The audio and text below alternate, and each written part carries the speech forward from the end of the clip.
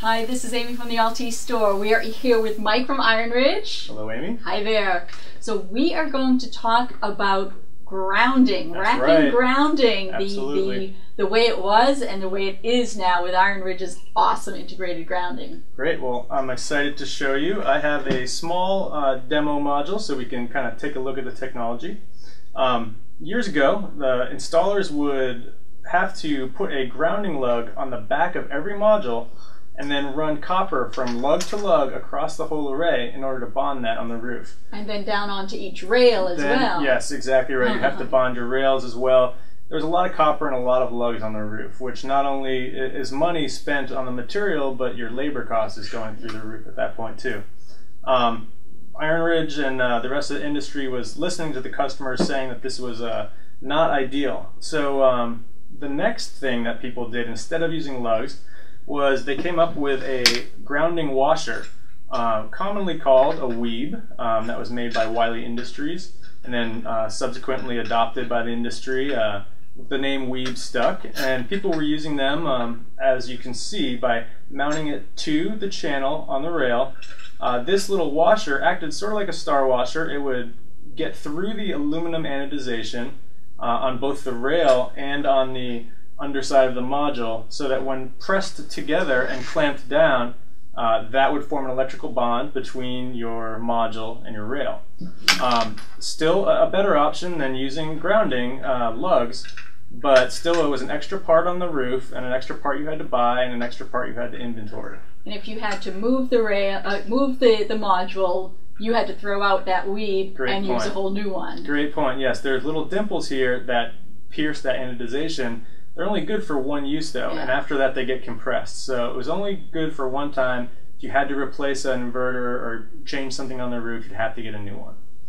Um, so IronRidge, one of the things that uh, originally endeared us to installers was we came up with a way to put everything into one product. Uh, so you'd have your grounding through your mid clamp. You already have to use this to attach the module to the rail. Why not have grounding in here too?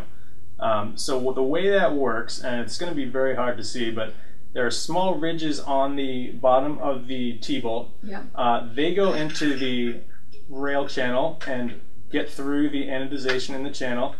Then there are some larger sized uh, ridges, some kind of teeth looking things on the module mid clamp right there. That's going to, again, bite through the anodization on the top of the module.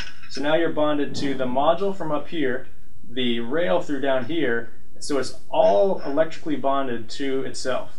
Um, you now then just have to do a lug at the end of the rail, and only one per row. So typically a, uh, row has two rails on it. You only have to bond one of those rails to the rest of the array. So you're taking your lug count down by 90%. You're taking your copper use way down, uh, and you don't have to have extra washers uh, on the roof that you're paying, you know, a buck or two each, uh, and you can only use once. This is able to be used multiple times if you have to swap something out later.